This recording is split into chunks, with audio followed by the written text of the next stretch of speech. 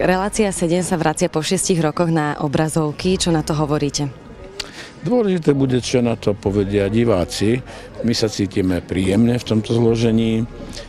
Po každej stránke ide o to, či to bude zaujímať divákov, koľko ich bude a čo na to povedia oni. No a ja už som to viackrát povedal na začiatku tejto relácie, že čím je doba vážnejšia, tým je taký ten humornejší pohľad na tie problémy dôležitejší a potrebnejší. Takže ja to vítam, že táto relácia sa znovu vracia na televíznu obrazovku. Myslíte si, že je stále o čom hovoriť? O čom čo rozoberať? Nepochybne. Toto je nevyčerpateľná téma a prispievajú k tomu tak naši domáci, často veľmi dôležití funkcionári, lebo už to je smiešne, viete, keď niekto sa takto dôstojne správa sám k sebe tak už v tom vidím taký nechcený pokus o humor. Máte možno aj nejakú takú konkrétnu tému, na ktorú najradšej glosujete?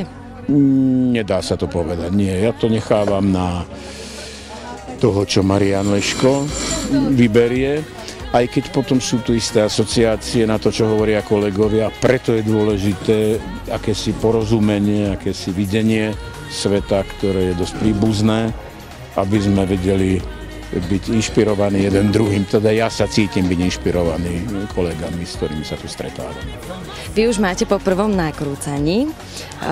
Cítite možno nejakú zmenu po tých rokoch, alebo je to stále rovnaké? No zmena je určite.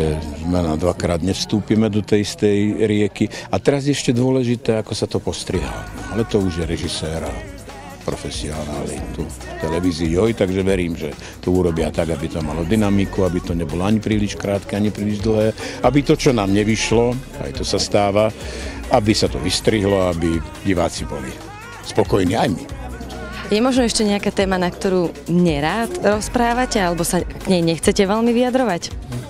Niektoré témy sú smutné, napríklad aj tie amnestie, o ktorých sme dnes hovorili, O tom sa mi ani nechce vtipkovať, pretože to je veľmi vážne a hlavne e, vrahovia a organizátori zločinu, viete, ktorý, kde bol štátna moc prepojená s organizovaným zločinom, čo sa stáva aj dnes, tak to nie je veľmi veselé a tam sa mi nechce veľmi vtipkovať, pretože to je príliš vážne a to treba jednoducho odstrániť aj z minulosti, aj zo súčasnosti.